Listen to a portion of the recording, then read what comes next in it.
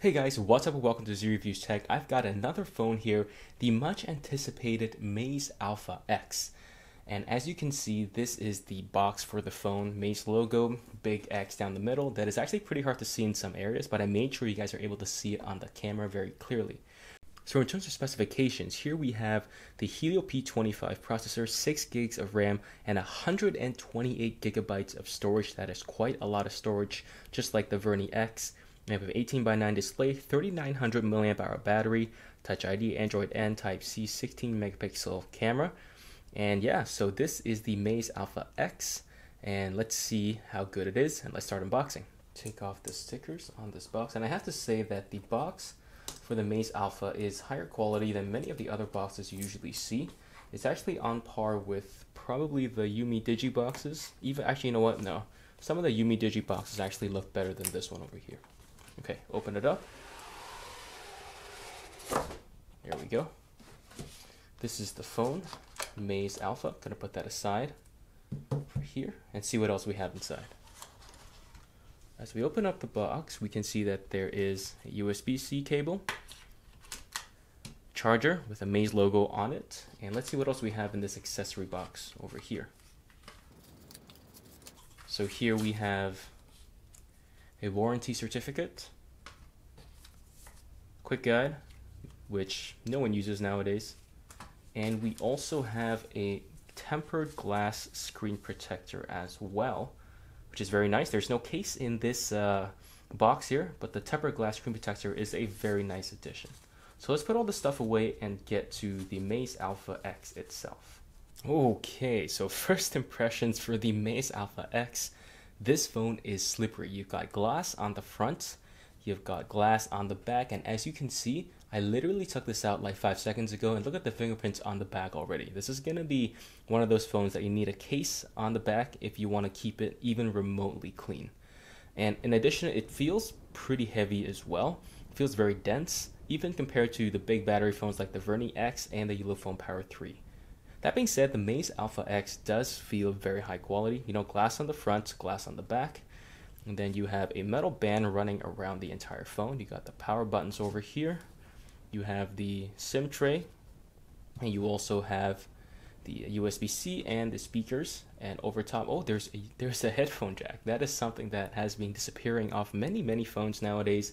Someone was even talking about putting the headphone jack on the endangered species list, which would probably not be a bad idea.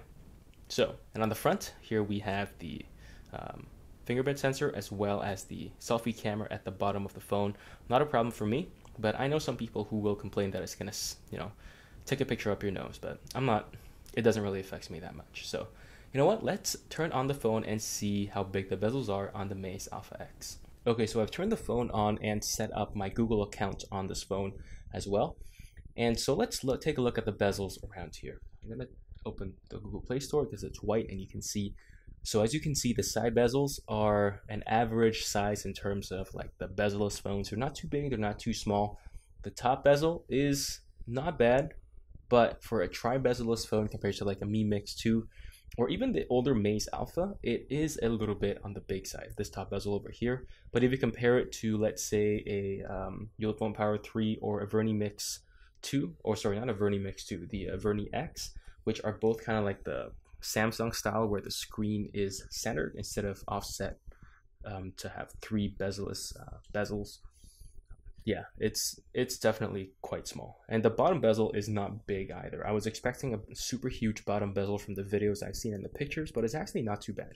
And here you have the fingerprint sensor, uh, which does work. And I was hoping for capacitive buttons over here, but there are none. You, like there is no response when you touch them over here, which is which is a little bit sad.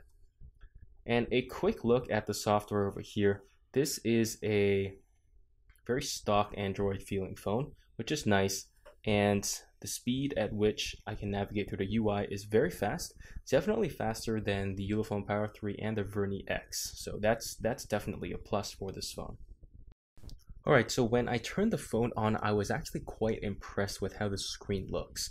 It's a very, very nice screen. It's 2160 by 1080p, so it is um, the same pixel density as a 1080p display, but nevertheless, it still looks great. As you can see, pictures here are very vivid. The colors are very saturated.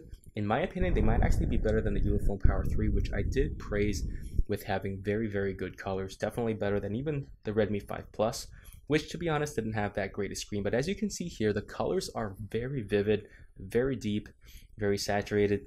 First impressions of the screen here are very, very promising, and I do hope that there aren't many flaws that, that reveal themselves as I continue using this phone because this is a very, very nice display at first glance.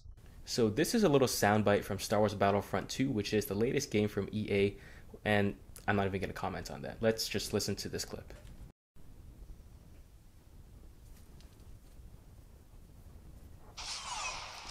They've led us into a trap. Brace for impact.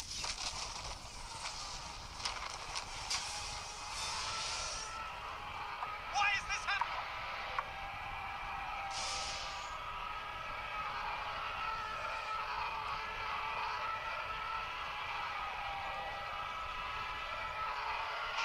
They've taken out most of the generators. We need them to keep the laser operational.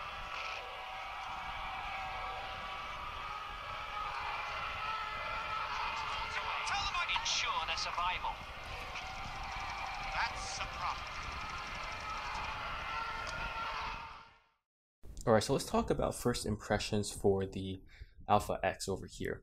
To be honest, the biggest thing I don't like about the Alpha X in terms of first impressions would be the glass back.